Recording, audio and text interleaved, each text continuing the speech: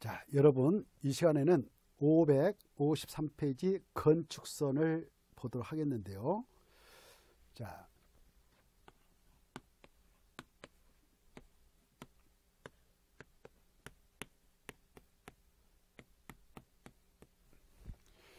이 건축선에 대해서 한번 보겠습니다. 553페이지 보면 가로 1번부터 보면 되는데 1번은 참고로 보시고 2번을 한번 볼까요? 2번 보면 건축선의 내용이 나오죠. 건축선이 뭐냐 그러면 도로와 접한 부분에 건축물을 건축할 수 있는 선, 이 선에 따라 줄 것이고 건축선 이렇게 써놓으세요. 그 선이 건축선이다 이렇게. 그런 건축선은 원칙적으로 대지와 도로의 경계선이다 이렇게. 원칙은 그렇습니다. 그런데 예외가 있습니다. 가로 3번 앞에다 예외 이렇게 써놓으세요. 예외. 그때 소요 넓이는 4m다 이렇게 하셔요. 소요 넓이에 멈추는 넓이의 도로인 경우에는 그 중심선, 그가 도로죠. 도로 중심선으로부터 그 소요 넓이의 소요 넓이는 4m죠. 그것을 2분의 1, 그러면 2m죠. 2m의 수평 거리만큼 물러난 선, 이 선이 건축선이 된다. 그 도로의 반도쪽에 반대쪽에 경사지, 하천, 철도, 선로부지 이와 같은 것이 있는 경우에는 그 경사지 등이 있는 쪽의 도로 경계선에서 소요 넓이에 해당 수평거리 걷다 줄 것이고 4m 이렇게 써놓으세요. 소요 넓이가 4m죠. 소요 넓이에 해당하는 수평거리선을 건축선을 한다 이렇게. 자, 그 다음에 일단 넘어가 보시면은 그 앞페이지 553페이지를 한번 볼래요? 도로 양쪽에 대지가 있는 경우의 건축선 그 그림을 보시면 도로 폭이 지금 2m밖에 안 됩니다. 그래서 소요 넓이 미다 되는 도로인데요. 소요 넓이가 4m니까요. 이렇게 소요 넓이에 못 미치는 2m짜리 도로가 있고 양쪽에 대지가 잡하고 있다 그러면 이 소요 넓이인 4m를 확보하도록 강제합니다. 그래서 바로 오른쪽에 있는 대지, 왼쪽에 있는 대지 안에 각각 얼마만큼 후퇴해서 대지 안에 딱 선이 그어지냐 도로 중심선을 기점으로서 각각 2m씩 후퇴합니다. 그걸 서요 넓이의 2분에 해당 수평 거리만큼 물론산 이렇게 합니다. 그래서 오른쪽으로도 2m, 왼쪽으로도 2m, 총 합해서 4m가 되도록 강제하고 있죠. 이때 대지안에 그렇게 건축선이 딱 확정되면 그 건축선과 도로 사이에 있는 그 대지 부분은 지상에다 건축물 건축하지 못합니다. 담장 축제하지 못하도록 규제합니다. 그래서 도로교통 원활함을 도모하고 있어요. 자, 그 다음에 이 도로와 건축선 사이에 그 대지 있잖아요. 그 대지 면적은 전체 대지 면적 계산할 때 제외를 한다는 거. 그 다음에 넘어가서 보시면은 554페이지 한쪽에는 건축물을 건축할 수 없는 경사지, 하천, 철도, 선로부지가 있고요. 한쪽에는 건축물을 건축할 수 있는 대지가 있죠. 그리고 도로폭은 소요 넓이 4m가 보다는 3m짜리가 있네요. 이렇게 넓이 미달인 도로인 3m짜리 하고 한쪽에만 대지가 잡아 있고 반대쪽에는 경사지, 하천 등이 있다. 그럴 때는 이 도로 경계선을 기점으로 해서 대지 안쪽으로 넓이인 4m만큼 후퇴한 선이 건축선이 되도록 규제합니다. 그래서 총 4m를 확보하도록 하게 되죠. 이때 대지 안에 확정되어 있는 그 건축선과 도로 사이에 있는 그 대지 부분은 전체 대지 면적 계산할 때 취한다 이것도 알아주십시오. 가로 4번 도로 모퉁이에서의 건축선이 있는데 이건 시험에 나올 가능성이 낮으니까 통과하고요. 오른쪽 넘어오셔서 가로 5번에 동그란 1번을 좀 알아주십시오. 동그란 1번 보면 특특 시장수 구청장은 시가지 안에서 건축물의 위치 환경을 정비하기 위하여 필요하다고 인정하면 도시역에서 4m의 범위에서 건축선을 따로 지정할 수 있다는 것. 도시에 줄 것이고 4m 이하 그 수치 알아주십시오. 그래서 4m를 암기해야 되는데 도시에 줄 것이고 도시역이 4자니까 4m 이렇게 일단 받으시고 그 다음에 가로 6번 중요표 이 전에 했던 것인데요. 서요들리 미달도로의 건축선 그리고 도로 보통의 건축선과 도로 사이의 그 면적은 대지 면적을 산정한 경우 제한다. 그러나 지정 건축선 가로 5번 1번에서 봤던 도시에서 4m까지 대지 안에 호텔에서 건축선을 지정할 수 있다라는 지정 건축선과 도로 사이의 그 면적은 대지 면적 계산할 때 포함된다는 거. 그 다음에 가로 밑에 1번, 2번 있죠. 마지막에. 3번에 건축선에 따른 건축잔에서 가로 1번, 2번 별표 3개, 3개. 이 건축물과 담장을 할 때 건축물과 할 때 건자 앞에다 지상을 이렇게 써놓으세요. 지상. 땅 위입니다. 땅 위의 건축물과 담장은 건축선의 수직면을 넘어서는 안 된다는 것. 그러나 차량 통행이 없는 땅속 이걸 지표 아래 부분이라는데 지표 아래 부분은 그러하지 아니하다. 그러하지 아니하다는 바로 건축물과 담장의 부분이 건축선 수익면을 넘어도 된다 그 말입니다.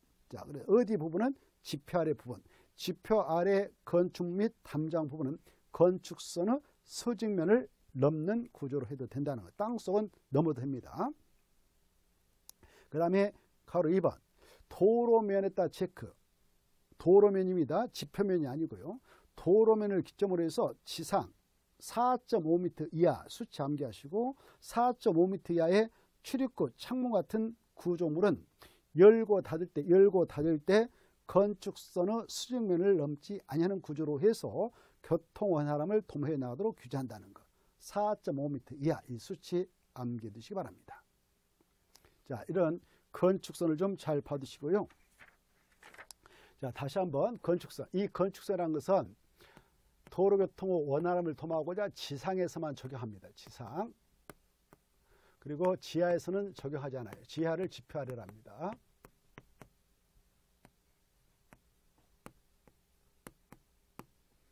그래 도로교통의 원활함을 도모하기 위해서 건축선을 정해서 건축할 때 규제하는데요. 이렇게 도로가 있다.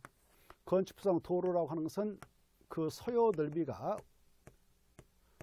4m를 의미하는 것이죠. 4m. 그래 이렇게 4m 이상인 도로하고 대지가 접하고 있다.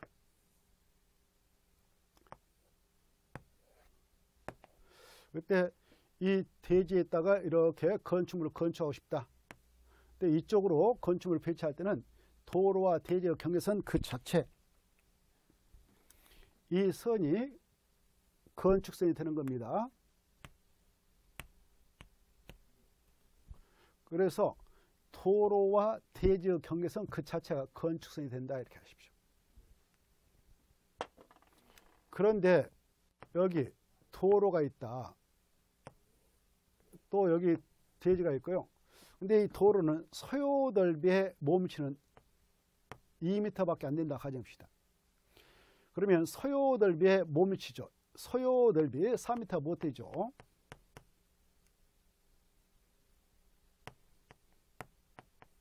소요넓이에 몸치는 이런 도로가 있다. 그러면 이 대지 소유자, 이 대지 소유자에게 공평하게 적용하고자 소요 넓이를 대지 안쪽으로 확대하도록 합니다. 도로 중심선을 기점으로 해서 이쪽으로 소요 넓이의 2분의 1에 해당하는 수평거리만큼 후퇴해서 이걸 건축선이다라고 정해서 건축을 하도록 규제하고요. 여기도 소요 넓이 2분의 1 그러면 2m가 되겠죠. 이만큼 후퇴해서 여기는 지상에 건축물도 건축하지 말라. 담장도 숙지하지 말라 이렇게 하고 있어요. 그러나 이 땅 주인이 갑이다. 그러면 값은 자기 대지니까 이 건축선 수직면을 넘는 구조로 지상에서는 할 수 없지만 지표 아래 부분은 넘어도 된다는 것. 땅속은 넘어도 됩니다. 이 땅은 을 것이다. 그러면 을도 마찬가지예요. 자기 대지에다 이 도로 쪽으로 건축물을 바짝 배치해서 나갈 수 없고요. 이 대지 안에 건축선이 이렇게 확정되어 있으니까 건축선 이렇게 확정되어 있으니까 이 을은 자기의 대지에도 이 파트, 이 부분은 지상에다 건축물 담장 축소해서는 안 됩니다. 그러나 지표 아래 부분 지하층은 이 건축선을 넘는 구조로 해도 돼요. 넘어갈 때 여기까지는 자기 땅이니까 여기까지는 땅 속에다 넣어도 되는 것입니다. 이때 갑이 됐든 을이 됐든 이하의 자기네 대지 면적을 계산할 때는 이 건축선과 도로 사이에 있는 이 빨간 부분은 대지 면적 계산할 때 제합니다. 그래서 값은 이 길이 이 길이 해가지고 이 대지 면적 계산하면 되죠. 을도 마찬가지입니다. 이 길이 그리고 이 길이 해서 이 사각형 면적인 대지 면적 계산하면 되죠. 이 공간은 대지 면적 계산을 취한다는 거. 그리고 자 이렇게 이쪽에는 경사지가 있다. 다시 이렇게 여기가 경사지가 있다. 뭐 하체 있다. 철도 솔로부지가 있다. 그리고 도로가 있다. 이때 이쪽에는 장내에 더 이상 도로로 확장하기 좀 힘든 땅들이죠. 공간이죠. 그래서 이 도로 폭이 2m밖에 안 된다. 건축물 건축할 수 있는 대지가 이렇게 있다. 이것은 병동의 것이다. 그랬을 때 이 도로 폭이 소요 넓이에 못 미치고 있죠. 소요 못 미치는 도로입니다. 그래서 이 경우에는 이 도로 경계선을 기점으로 해서 여기를 기점으로 해서 이쪽으로 얼마만큼 후퇴한 선을 건축선이다라고 그대로 하고 있냐? 소요 넓이 그러면 4m죠. 4m만큼 후퇴한 선을 대지안했다 건축선으로 지정을 하게 됩니다. 그러면 이 건축선과 도로 사이에 있는 이 부분은 병이 대지 소유권을 행사하고 있습니다. 병의 땅입니다. 그래 이 병이 자기 땅이니까 이 공간도 자기가 소유권자가 돼요. 소유권이라고 하는 것은 사용권능, 수익권능, 처분권능이 혼일되어 있잖아요. 이 권능 중 지상에 따른 자기 땅이라도 사용시권을 마음대로 행사를 못해. 여기다는 건축물 담장을 축조해서 안 돼. 빨간 부분은. 그러나 이 건축선 수준을 넘는 구조에서 아래 부분은 여기다 지하층을 넣는 건 괜찮습니다.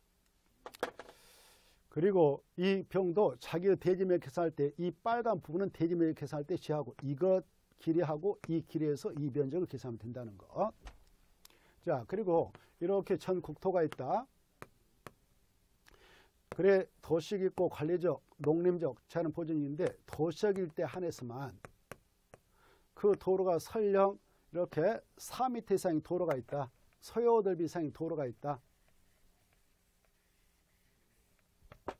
이 도로를 합시다. 그래 도시적 있고 관리적 있고 어, 농림적 있고 자연 보존이 있는데 이 도시적의 시가지 정비차 또 어, 환경 정비를 위해서 이 대지들을 합시다. 대지 대지가 있는데 이 도시적에 한해서는 도로 경계선을 기점으로 해서 대지 안에 최대 4m까지 못해서 이게 건축선이다라고 대지 안에다가 대지 안에다가 지정을 해서 건축선이다라고 지정해서 고시해도 됩니다. 이때 후퇴할 수 있는 거리는 최대 4m까지만 후퇴할 수 있다는 거 암기하시고 이때 이 대지가 이렇게 있다. 그때 이 하나의 대지면을 계산할 때는 이 전체 면적을 가지고 대지면을 계산해요. 그래서 지정 건축선이 있다. 이렇게 지정 건축선이 있다면 이 건축선과 도로 사이에 이 부분도 전체 대지면을 계산할 때 포함됩니다. 포함해서 하나의 대지면적으로 계산해요. 그래서 건폐용률을 정합니다. 다만 여기 대지 안에 건축선이 지정 고시했다면 이 건축선과 도로 사이에 있는 이 빨간 부분은 이 대지 소유에도 지상에 따른 건축물 건축할 수 없고 담장을 축조할 수 없습니다. 다만 이 건축선 수직면을 넘는 구조로 지표 아래 부분은 넣어도 된다는 땅속은 들어가도 됩니다. 이걸 잘 봐두시고요. 자 여기까지 알아주시면 좋겠습니다.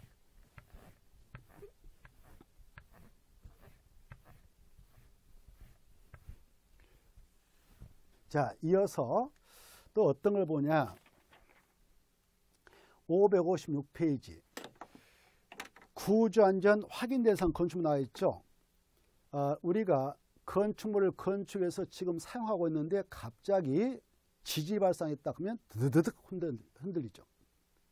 그러면 잘못하면 구조적으로 안전하지 못하면 바로 붕괴돼서 인명사고로 이어지죠. 그래서 지진에 지진에 견뎌낼 수 있는 구조로서 안전하게 건축을 하도록 설계하게 되어 있습니다. 그걸 내진 설계라고 하는데요. 내진 설계 대상을 아예 법에서 규정하고 있어요. 일본은 대부분 지진이 발생하니까 대부분 건축물 내진 설계를 하도록 규정하고 있습니다. 우리나라는 이러이런 것만 내진 설계를 해야 됩니다라고 규정하고 있어요. 그 내용을 보도록 하겠습니다. 556페이지. 구조 안전 확인 대상 건축물에서 동그라미 2번 보시면 구조 안전을 확인한 건축물 중 다음에 해당하는 건축물 건축주는 해당 설계로부터 어, 그 구조 안전 확인서를 받아서 착공심을 할때 그 확인서를 허가를 제출하는데 어느 쪽에 1번부터 9번까지는 좀 봐두십시오. 이걸 바로 내진 설계 대상이라고 그래요. 내진 설계 대상 어떤 거냐? 층수가 2층 이상이다. 그러면 내진 설계 해라 이렇게 돼요. 다만 목구조, 목구조는 나무로 된 집입니다. 목구조는 3층 이상일 때 연면적 200제곱미터, 목구조는 500. 그래서 목구조 건축물인데 층수가 2층이고 바로 연면적이 400이다. 그러면 내진 설계해야 할 대상은 아닙니다. 하는 건 자유지만 음성 아니죠. 둘 중 하나의 요건을 충족해야 되죠. 네, 목구조 건축물은 층수가 3층 이상이거나 연면적 500제곱미터 이상일 때만 내진 설계를 하도록 되어 있습니다. 그리고 창고 축사 창물실에서는 규모가 얼마가 됐든 내진 설계 대상은 아니다. 3번 높이가 13m 이상, 처마 높이가 9m 이상, 기둥과 기둥과의 거리가 10m 이상이면 내진 설계해야 된다. 그 정도 보시고 8번 한쪽 끝은 고정되고 다른 끝은 지대지 않는 구조로 된 포, 차양 등이 예벽의 중심선부터 3m 이상 돌출된 건축물 때 그거 받으시고 9번 이 주택법상 주택이라고 하는 것들 있죠. 주택의 종류가 주택법에도 있고 건축법에도 있는데 지금 우리는 건축법을 공부하고 있죠. 그래서 건축법상 주택의 종류는 총 8가지가 있죠. 주택법 6개밖에 없다고 그랬죠. 여기 건축법상 주택은 단독주택 4가지, 단독주택, 다중주택, 다가구택 공간, 공동택 4가지, 아파트 연립 다섯 대 기숙사 이렇게 8가지가 있습니다. 근데 주택법으로 가면은 기숙사는 주택 아니다, 공간도 아니다. 그래서 3개, 3개, 6개밖에 없다고 그랬죠. 이거 아시고. 자, 이제 금방 이런 것들이 내진 설계 대상이니까 주택이라고 생각해서 다 내진 설계 대상이다 이렇게 하셔. 2층 이상, 목구조 3층 이상, 연면적 200, 목구조 500, 그리고 높이가 바로 13m, 차원 높이 9m, 그리고 기둥과 거리가 어, 기둥과 기둥과 사이 거리가 10m 이상 이런 걸 좀 봐주시면 좋겠습니다. 그 다음에 넘어가셔서 558페이지 가로 4번 다음에 해당하는 건축물 설계자 설계자라고 하는 것은 건축사의 자격만 있어도 설계자의 자격이 법적으로 인정돼요. 근데 이 설계자인 건축사보다 더 그 분야의 전문가 있습니다. 구조 기술사 자격증을 가지고 계신 분들이. 자, 그래서 설계자는 구조 안전을 확인을 하는 경우 구조 기술사의 협력을 받아서 설계할 게 있다. 좀 규모가 큰 것들이죠. 6층 이상인 건축물, 특수구조 건축물, 다중 건축물, 준 다중 건축물, 3층 이상의 필통식 건축물.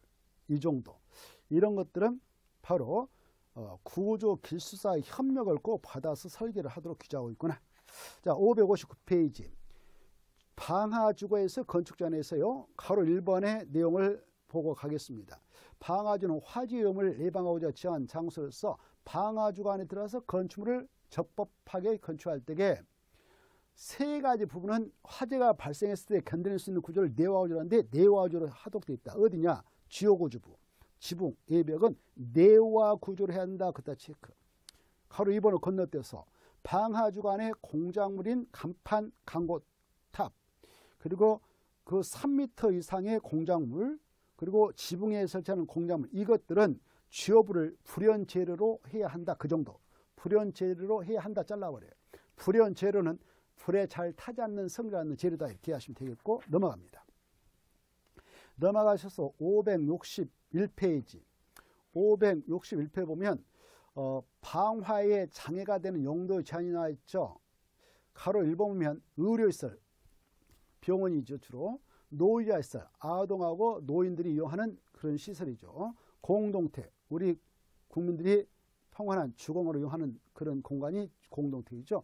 장례시설 지금 슬픔에 잠겨있는 유가족들이 많이 머물러 있는 장례시설 그 다음에 제1종 근생종 산후조리원 그리고 이런 것하고 옆에 유 락설, 이원물 저장물 처리시설 그 다음에 공장 자동차 관련성 정비 공장 이런 것은 하나의 건축물에 따라 함께 설치할 수 없도록 규제하고 있다는 거. 이렇게 이런 것들은 하나의 건물에 함께 설치하지 못하도록 규제합니다. 그래서 여러분들이 중개업을 승계할 때는 이런 걸 잘 알아주셔야 돼요. 자, 그러나 예외가 있죠. 공동택 중 기숙사하고 공장. 이 공장하고 공장에 지금 근무하고 있는 종업원들 있죠. 종업원들이 이용하는 기숙사 있잖아요. 그것은 하나의 건축다 함께 집어넣어도 된다는 이 정도 하나 봐두시고 그 다음에 3번 공동택과 일학설이 같은 초고층 건축물이 있다. 초고층 건축물은 50층 이상의 건축물이죠. 높이가 200m 이상의 건축물이죠. 이런 초고층 건축물에 공동택하고 일학설이 함께 들어가는 것은 허용돼요. 예, 그런데 부산 앞바다에 무슨 그 해운대 앞바다에 50층 이상의 건축물을 세운다. 이런 것들이 초고층 건축물인데 그런 초고층 건축물에는 위층은 아파트 같은 것을 집어넣고 공동태, 밑에 층은 위락설을 넣어가지고 애국 관광대 위치해서 거기서 놀게 하고 잠을 또 재우게 하고 말이에요. 이렇게 할 수 있도록 허용한다 그 말입니다.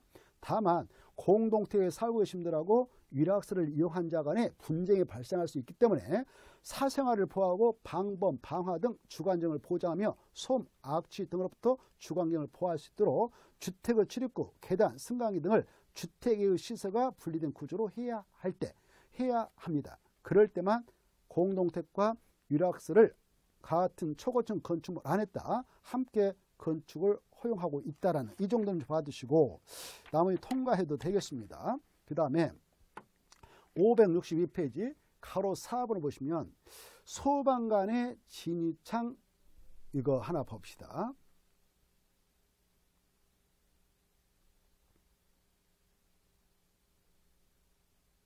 자, 동그라미 2번 보면 건축물의 11층 이하의 층에는 소방관이 진입할 수 있는 창을 설치하고 외부에서 주야간에 식별할 수 있는 표시를 하야 한다. 이렇게 받으십시오.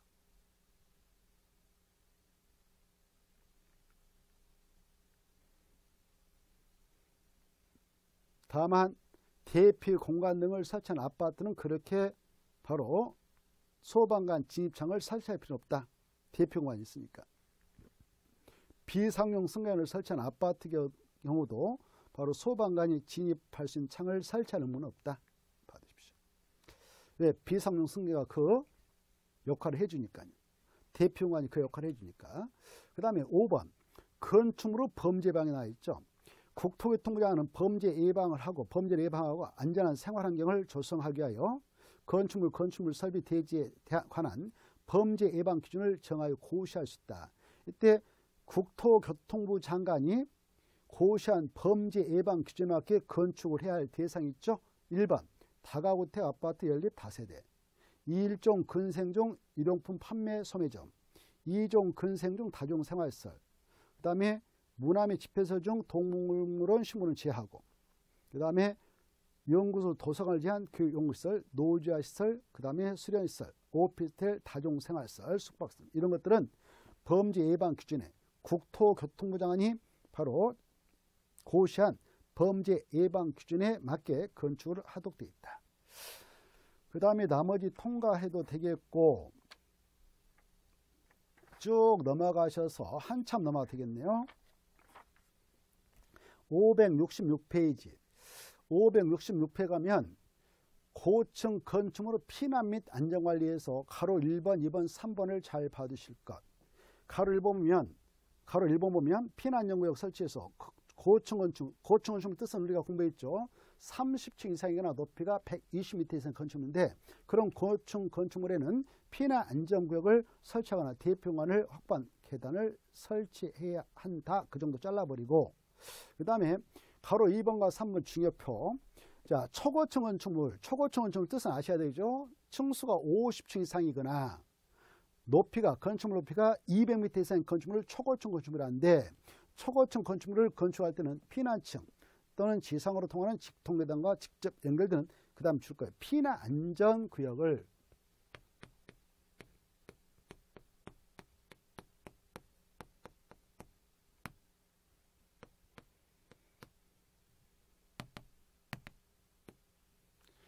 피난 안전구역을 지상층으로부터 몇 개 층 이내마다 하나씩 집어넣어서 설치해야 되냐 이겁니다. 숫자를 암기해 두세요. 최대 30개 층마다 그 말이죠. 피난 안전구역을 지상층으로부터 최대 30층마다 이렇게 여기까지 30층이다 그러면 이 안에다 피난 안전구역을 설치해라 그 말이죠. 30층마다 이렇게 30층마다. 30층 그러면 이 건축물이 딱 50층짜리다. 50층짜리고 그러면 이것은 초고층 건축물이죠. 그러면 피난 안전구역이 몇 개 정도 들어가야 되냐? 바로 30개층마다 니까 30개층이 여기가 30층이다. 그러면 여기다 하나 넣어야 되고요. 그 다음에 여기 비록 60층이 아니라 50층밖에 안 되지만 여기다 하나 넣어야 됩니다. 이렇게. 피난. 최소한도 두 개선 넣어야겠네. 30개층마다 1교세상 드니까요. 자, 그래 이상은 자유니까 한 개만 넣겠죠. 한 개. 그래서 30개층마다 한 개 이상은 돼야 돼. 이걸 가지고 30을 가로쳐 놓고 2를 가로쳐 넣어서 출제를 한 바 있어요. 몇 개층마다 몇 개 수상 설치해야 되냐? 30개층마다 1개 수상 설치해야 된다 입니다. 그런데 가로 2번 준 초고층 건축물. 준 초고층 건축물 뭡니까? 고층 건축물 중 초고층 건축물이 아닌 건축물이죠. 그러면 준 초고층 건축물은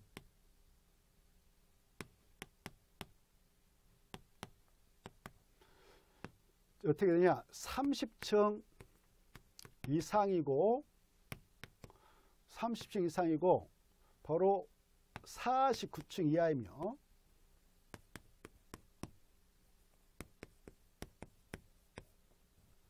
그리고 높이가 건축 높이가 120m 이상이고 200m 미만인 것이죠. 200m 미만이니까 199.99 이렇게 해서 아무튼 200m 미만입니다. 이걸 준 초고층 건축물이라고 하죠. 준 초고층 건축물에는 피난 안전구역을 전체 층수 대비 2분의 1에 해당하는 층을 기준으로 해서 상하 위아래 5개층 이내다가 1개수상 피난 안전구역을 집어넣으면 됩니다. 자, 그래서 준 초고층 건축물에는 피난층 또는 지상으로 통하는 직통로 등과 직접 연결되는 피난 안전구역을 피난 안전구역을 그 말다 포인트 안전구역을 해당 건축물 전체 층수의 2분의 1에 해당하는 층으로부터 상하 5개층 이내 1개소 이상을 설치하면 된다 이렇게 하십시오. 그래 이게 층수가 이 건축물이 층수가 49층이고 높이가 200m다. 이러면 뭐가 될까요? 이건 초고층, 초고층 건축이 돼버립니다. 그렇죠? 그러면 이것은 30개층마다 1개소 이상의 핀 안정을 만들어야 되니까 최소한도 핀 안정을 몇 개소 넣어야 되냐? 하나, 두개 넣어야 돼. 최소한. 그리고 그 공간은 핀 안정으로 이용해야 됩니다. 그런데 이 건축물은 층수는 49층인데요. 높이가 건축 높이가 바로 199.95m다. 그럼 이건 초고층 건축물이 아니라 준초고층 건축물이죠. 그러니까 이 건축물에는 피난 안전구역을 몇 개소만 넣어도 합법적이냐? 1개소. 그래 이 건축물 전체 층수 대비 2분의 1 층의 위아래 상하 5개층에 냈다가 한 개소만 딱 넣으면 되죠. 한 개소만. 그러면 어느 게더 건축물을 건축하는 건축적인 이익입니까? 이게 좋습니까? 이게 좋습니까? 이게 훨씬 건축병 면에서 바로 이게 나은 거죠.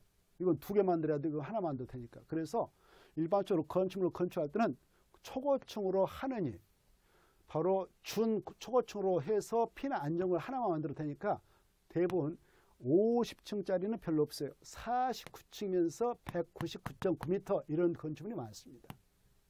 왜? 피해는 안전구역 때문에. 이 피해는 안전구역을 만들었다면 이 피해는 안전구역은 그 면적을 용종률산정시 연면적에서 제외를 해주고 있다는 것. 용종률산정시 연면적에서 제외되는 것 네 가지 있죠. 지하층 면적 무조건 제해주고 지상 부속용도의 주차장 면적 제해주고 이런 초고층 준 초고층 건축물에 설치되는 피는 안전구역 면적도 제하고 대피 공간도 제외를 해준다고 그랬죠. 자, 그래서 지주 PP는 제한다 이런 것들 떠올라돼요. 용종률 산역시 연면적에는 지주 PP 제한다 이런 걸 생각해 내시기 바랍니다. 자, 그 다음에 567페이지. 567페 보면 난간 설치가 나와 있죠. 자, 난간 설치를 보죠.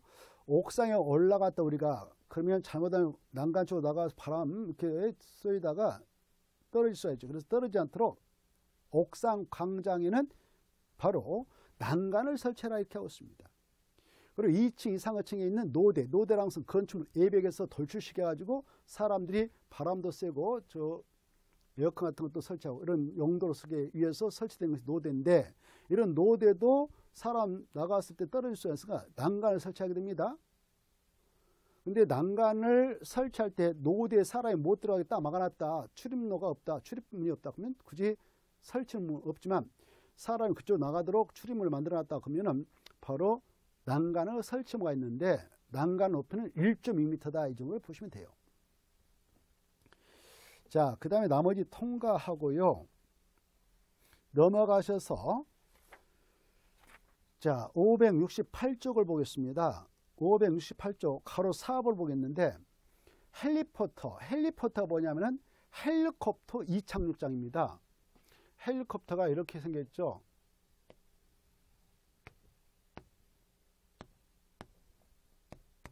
이게 헬리콥터란 말이에요.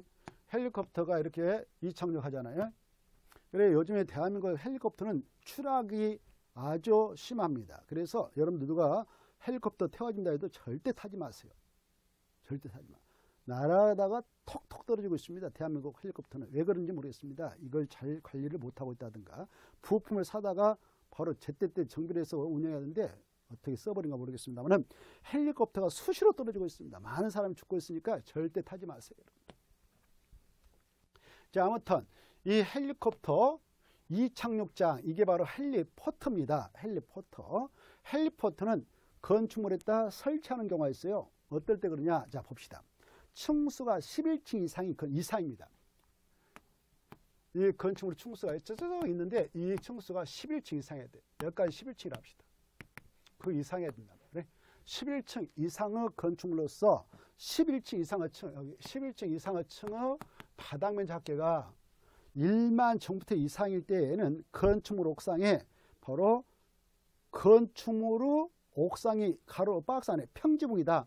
이렇게 팽팽하게 됐다 그러면 옥상에다가요 헬리콥터를 만들어야 돼요. 헬리콥터. 헬리콥터는 이렇게 생겼어. 그리고 헬리포트는 이렇게 만듭니다. H자 같이. 그래서 여기에 이 다리가 딱딱 앉으죠. 이렇게. 그래서 어, 이게 봐봐요. 이게 뭐같이 보여요? 11같이 보여있죠? 그러니까 헬리포트는 건축물로 층수가 몇 층 이상 할 때 나오냐? 11층 이상. 11층 이상인 건축물로서 11층 이상의 층의 바다면 잡기가 1만 종부터 이상인데 평정으로 됐다 그러면 옥상에다 헬리포터 넣어라 이거죠. 만약 이게 경사층으로 됐다면 지붕 아래다 대평을 만들어라 이렇게 하고 있습니다. 이때 대평을 만들었다 그러면 그 공간은 대표 공간의 면적은 용종일산 역시 연면적에서 제외를 해주겠다 이렇게 하고 있죠. 자 여기까지 알아주시면 되겠습니다. 자, 그 다음에 569페이지. 가로 3번. 가구 간, 세대 간 소음 방종 경계벽과 층간 바닥 설치 대상 건축으로 이렇게 되어 있죠.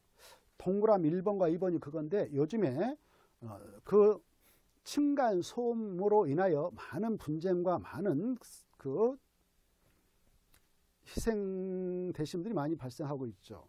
자, 그래서 이 소음 방종 층간 바닥을 설치해라. 소음 방종 경계벽을 설치하라고 의무를 하고 있는데 그걸 한번 보겠습니다. 동그란 1번. 다음에 해당하는 건축물의 경계벽은 가구 간 세대 간 소음 방지를 위하여 경계벽을 설치해라. 어떠한 건축물 때 소음 방종 경계벽을 설치냐? 1번. 다가구택의 가구 간 공동택 중 기수업 뺀 아파트 다세대의 각 세대 간 경계벽은 소음 방종 경계벽으로 넣어라. 그 다음에 두 번째 기숙사는 침실간, 병실은 병실간, 교실은 교실간, 숙박실은 바로 객실간, 경계벽은 소음방적으로 넣어라 이거죠. 그 다음에 디귿에 산후조리원의 경계벽도 바로 임시 임산부실간 경계벽이라든가 생, 신생아실간 경계벽이라든가 임산부실과 신생아실간 경계벽도 소음방종 경계벽으로 넣어라 경계벽으로 그 다음에 리을 그 제2종 근생종 다종생활로 호실간 경계벽도 노인 복지주택의 각세대한 경계백도, 노인 요양시설 호실간 경계백도 바로 소음 방지용 경계백으로 넣어야 된다. 2번에 어, 다음에 해당하는 건축물의 층간 바닥, 화장실 바닥은 내두고요. 나 제하고 그래서 화장실에서 위층에서 위, 위, 아래층으로 위, 아, 위층에서 아래층 막 소음이 전달되고 있죠. 왜? 화장실 바닥은 소음 방지용 바닥을 넣으라 그러면 다음에 누수가 일어날 때게요. 밑에 층에서 화장실에서 물이 새서 우리 집에 막 물이 난리 났습니다. 이런 경우 많이 발생하지 않습니까? 그때 공사를 해야 되는데 어, 소음 방지용 바닥을 쳐버렸다 그러면 공사할 때 그물이 와장창 무너질 수 있거든요. 그래서 그런 점이 있기 때문에 화장실 바닥은 소음 방지용 바닥을 넣을 필요가 없어요. 화장실 바닥을 제한 나머지 건축물의 층간 바닥은 바로 소음 방정으로 설치하는데 그 건축물이 다가구 주택일 때 그리고 공동택일 때 오피스텔 이종 군생 중 다중생활설 숙박설 중 다중생활설 이런 것들은 소음 방정 그런 층간 바닥을 설치해야 된다 이렇게 받으십시오. 그 다음에 넘어가서 보시면 570페이지 6번의 1번을 하나 보겠습니다. 인접대지 경계선부터 직선거리 2m 이내 수치 좀 받으시고 직선거리 2m 이내 이웃주택의 내부가 보이는 창문을 설치하는 경우는 차면실을 설치할 의무가 있다는 거예요. 이웃주택의 내부의 사생활이 자기 눈에 들어오지 않도록 차면시설을 설치할 의무가 있다. 인접대 경계선부터 직선거리 2m 내에 이웃주택 내부가 보이는 창문을 설치할 때는 차면시설을 막아서 이웃주택의 내부가 보이지 않도록 해야 된다. 이겁니다. 2m. 571페이지. 승용 승강기 설치하나 있죠. 자, 건축주가 6층 이상으로서 연면적 2천여미터 이상의 건축물을 건축하려 할 때는 승용 승강기를 설치해야 됩니다. 그런데 외가 있죠. 2번. 층수가 딱 6층인 건축물로서 각층 거실 바닥면적 300점 이내마다 1교수 이상의 직등을 설치한 경우는 바로 승용 승강기 설치 무 대상에 빼주고 있다는 것. 설치하는 자유지만 의무사항이다. 고층 건축물에는 승용 승강기 중 한 대 이상을 피난용 승강기로 설치해야 된다 받으시고 비상용 승기 비상용 승강기 설치 대상 높이로서 정하고 있죠. 높이 31m 넘는 건축물에는 다음 대수 이상의 비상용 승강을 추가로 설치해야 됩니다. 기억 니은에 나와 있는데 그건 참고로 읽어보시고 넘어가서 보면 동그라미 3번이 중요해요. 3번을 보시면 두 대 이상의 비상용 승강기를 설치하는 경우는 하나의 건축물에 다가 두 대 이상의 비상용 승강기를 설치해서 운영하려고 합니다. 그때는 딱 인접해서 설치하면 안 되고 바로 불이 났다 그거 끈다 이걸 소화라고 그러죠. 소화할 때에 지장이 일어나지 않도록 일정한 간격을 두고 설치해야 된다는 거. 그거 꼭 아세요. 일정한 간격을 두고 설치해야 된다. 자, 그 다음에 가로 3번에 지능형 건축물. 이 지능형 건축물이라는 것은 최첨단 시스템을 장착한 건축물이죠. 그래 인공지능을 집어들어서 뭐 안전, 방범을 관리한다든 이런 것들이 다 지능형 건축물 되겠는데 이런 지능형 건축물의 인증은 누구한테 받아가면 되냐? 바로 국토교통부 장관입니다. 그래 이제 지능형 건축물로서 인증을 받아가지고 건축하면 건축비가 많이 들어가는 것이죠. 그래서 3번 좀 인센티브를 주겠다. 이걸 좀 적게 만들도록 해서 비용을 좀 줄여주겠다 이겁니다. 어떤 거냐. 허가권이란 지능형 건축물로 인정을 받은 건축물에 대해서는 적용 설치 면적을 85%까지 완화 적용해 주겠다. 좀 면적을 적게 잡아서 적용시설 넣어도 된다. 그러면 그만큼 비용 절감이 되겠죠. 그 다음에 용적률하고 높이를 건축 높이를 115%까지 완화 적용을 해주겠다. 그러면 건물을 더 크게 건축해서 이용도를 높일 수 있도록 해주겠다 이거죠. 자, 그래서 그 용적률하고 높이자는 100분의 115까지 완해주고 대전의 적용 설치 면적은 85%까지 완해준다. 이렇게 봐주십시오. 자, 그 다음에 513페이지. 대지가 둘 이상의 지역 등에 걸치는 경우 해가지고, 자, 가로 1번, 2번, 건축물이 방화지에 걸치는 경우 해서 나와 있죠. 가로 3번, 어, 대지가 녹지에 걸치는 경우 이런 게 나와 있죠.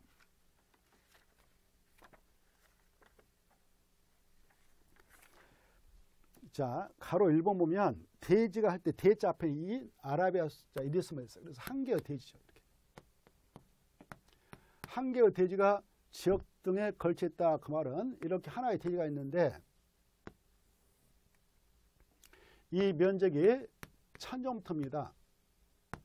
근데 이게 어, 제 1종 전용 주거지에 걸쳐 있고 이게 제 어, 준 주거지에 걸쳐 있다.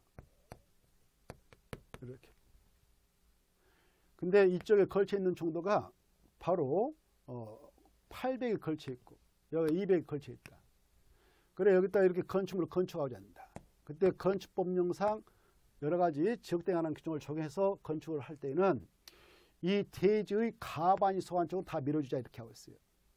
대지 가반이 제2종 전용 주거지죠. 그래서 이 건축 및 이 대지 전부 대해서는 제1종 전용 주거지에 적용되는 건축법상 규정을 정해서 이 건축을 하도록 허용하겠다 이거죠.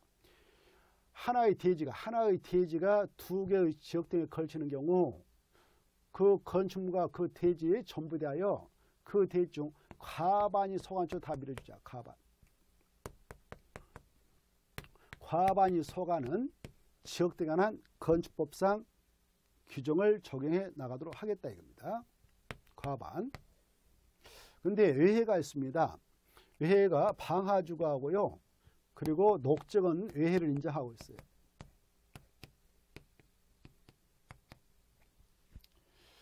그래 녹지역하고 방화주는 외해를 인정합니다. 그래서 하나의 건축을 이렇게 건축하는데 이게 이쪽은 방화주로 증된 땅이고요. 이쪽은 방화주가 아닙니다. 이렇게 대지에다 건축한대.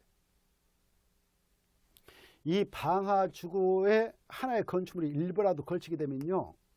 이 건축물 전부만, 건축물만요. 대지는 해당하지 않고 건축물만 전부 방화주가는 여기가 방화죽이죠. 이 방화주가 있다 온전하게 그 건축물 건축한다. 그러면 이 건축물은 지붕과 예벽과 내 주요 구조부를 바로 내와 구조로 만들어야 되죠. 그런데 이 하나의 건축물이 뭐야 그러죠? 방화주가하고 방화주가 안쪽에 걸쳐 있다. 그랬을 때 이 건축물 전부 다 방화주와는 건축물이라는 규정을 정해서 이 건축물로 주요 구조부, 지붕, 외벽은 내화 구조로 해라 이렇게 규제를 받아버리는 거죠. 그런데 여기에 방화주거하고 그 밖의 어, 장소에 경계했다가요. 방화벽을 설치해서 구획했습니다. 방화벽. 방화벽은 이쪽 건축 부분에서 화재가 발생했다. 그러면 이쪽으로 더 이상 확산되지 못하도록 하게 한 벽인데 이렇게 방화벽이 그 경계에 설치 구획됐다면 방화주가 안에 있는 건축물만 방화주가 안의 건축물이라는 규정을 적용해서 내용가지고 하면 되고 방화주고 밖에 있는 건축 부분은 그러하지 않다. 방화주가 안의 건축물이라는 규정을 적용하지 않고 밖의 장소의 규제를 받으면 된다 이렇게 하십시오. 그 내용이 가로 2번 나왔으니까 좀 봐두시고 그 다음에 넘어가서 보면 가로 3번 자, 이 하나의 대지가 있는데 여기 천정부터 하나의 대지가 있다. 근데 이게 준 주거적인 땅에 800이 걸쳐 있고요. 녹적에 200만 걸쳐 있다 합시다. 이 녹적은 보존을 하자는 땅 아닙니까? 그래서 하나의 대지가 녹적과 그 밖에 걸쳐 있을 때는 녹적에 속해 있는 면적이 얼마나 됐든 묻지 말고 각각 적용하자 이렇게 각각. 그 말입니다. 자, 그래서 하나의 대지가 녹적과 그 밖의 장소에 걸치는 경우는 각 지역 안에 건축 및 대지란 규정을 적용한다. 또 대지 안에 건축물이 방화주에 걸쳤다면 아, 방화주에 관한 규정을 정해서 이해하면 된다. 받으십시오. 자, 그 다음에 건축물 하나 있죠.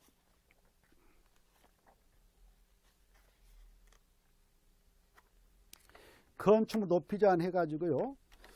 가로 자 건축물 높이제한에서 1번 가로구역에서의 건축물 높이제한 있죠. 가로구역이 뭐냐 뜻이 나옵니다. 1번에 보면 하각권에는 가로구역 가로구역 뜻이 뭐냐면 도로로 둘러싸는 일단의 지역이 거예요. 이렇게 우리 바로 도시에 보면 도로들이 있죠. 이렇게 도로, 도로, 도로, 도로가 있다. 도로, 도로, 도로, 도로가 있다. 그때 이 도로로 둘러싸 있는 일단은고요. 이걸 가로기라 합니다. 가로. 공법에서 가로가 나오면 다 도로다 이렇게 생각하면 돼요. 가자가 도로 가자 길로 자거든요. 우리 도로가 있는 나무를 나무 숫자에서 가로수, 도로가 있는 등을 가로등 그러죠. 그래서 가로는 도로다 이렇게. 이 도로 둘러싸인 일단적인 가로객에 이 땅들이 있지 않겠습니까? 이 사이에 이렇게 A 것 대지, B 것 대지 쫙 있을 거란 말이에요.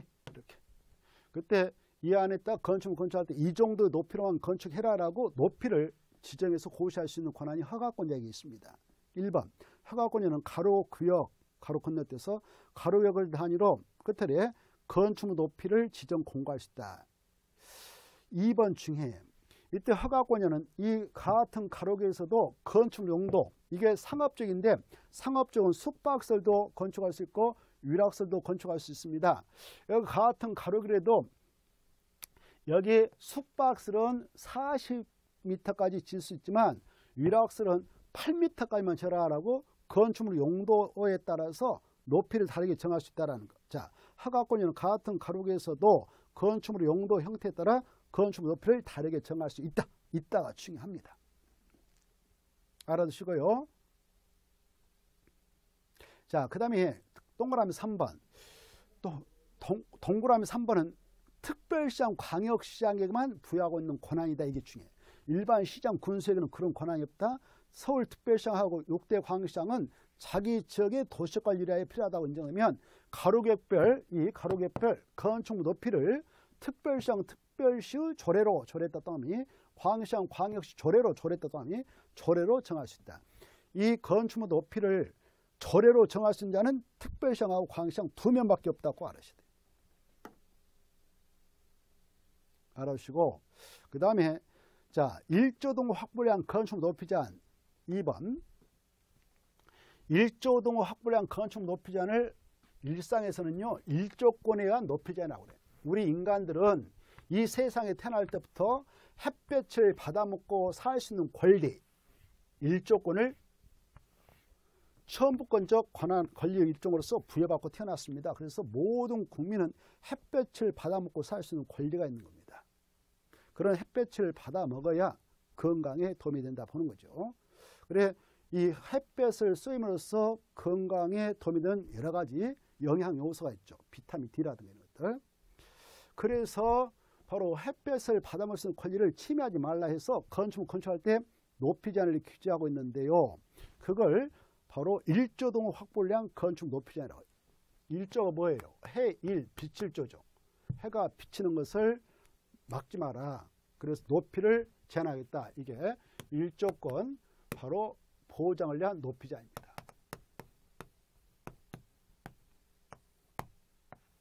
일조동 확보량 건축 높이 제한.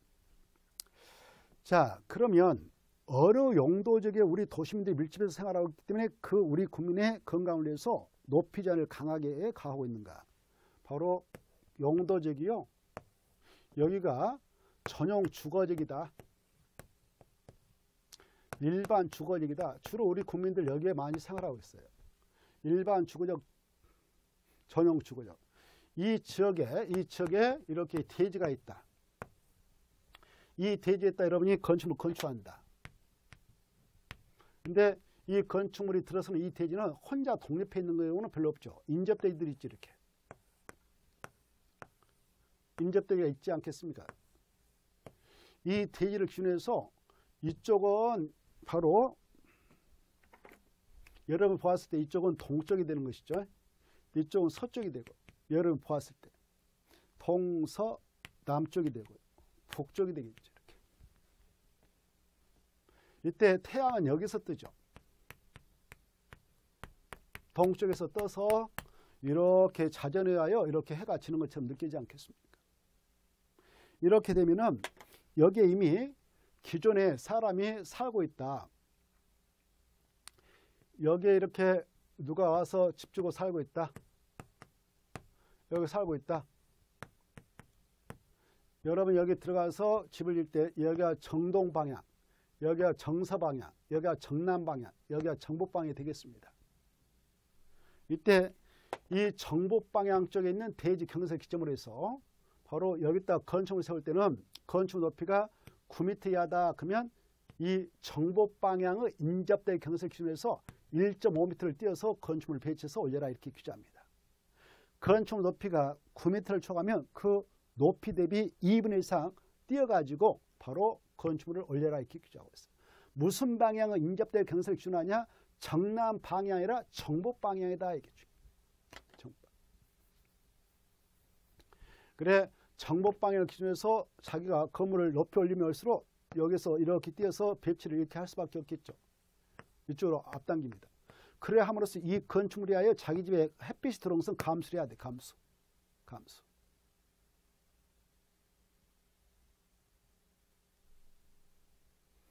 중요합니다.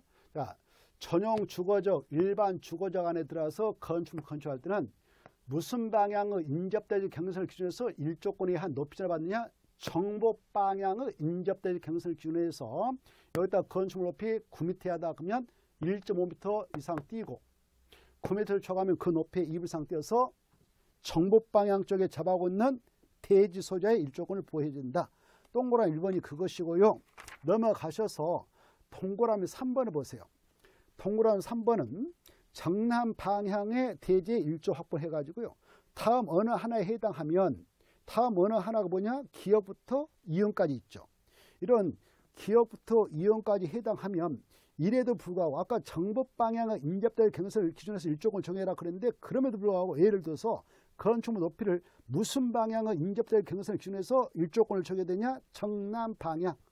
아까 앞에는 정법 방향이었어요. 전용 주거적, 일반 주거적은 정법 방향 있죠. 밑에 박스 안에 기억 내용 아까 설명한 거꼭 읽어두시고 그런데 다음의 경우는 바로 정남 방향의 인접대 경선을 기준해서 일조권 규정을 적용해 나갈 수가 있다는 것입니다. 어떤 장소냐 박스 안에 들어가서 보면 택지발 죽을 때 치고 대지 조성 사업 때 치고 티귿 지구 단위 지구역 개발 사업구역 할 때 구역. 그 다음에 국가산업단지 일반산업단지 도시첨단산업단지 농공단지 도시개발구역 정비구역. 그래 구역 구역이 나오고 지구주가 나오고 그렇죠. 단지 단지 나와 있죠. 그리고 시옷 이용 정북 방향 쪽에 애교 정북 방향 쪽에 이쪽에 있는 대지 소자가 내 거 일조권 신경 쓰지 않아도 됩니다. 알아서 집 지어도 됩니다. 다만 나한테 보상 한 1억 해주세요 해서 서로 합의를 봤어요. 그러면 이쪽에 일조권 크게 신경 안 써도 되죠. 그랬을 때는 정복 방향이 아니라 정남 방향의 인접될 경선 기준에서 일조권을 적용해도 돼요. 이쪽에 대지 소유와 합의했다면 정복 방향 쪽에 잡아오고 있는 대지 소유하고 소유자와 일조권에 대해서 합의를 했다 그러면 정남 방향은 인접될 경선 기준에서 일조권을 적용해야 된다는 거.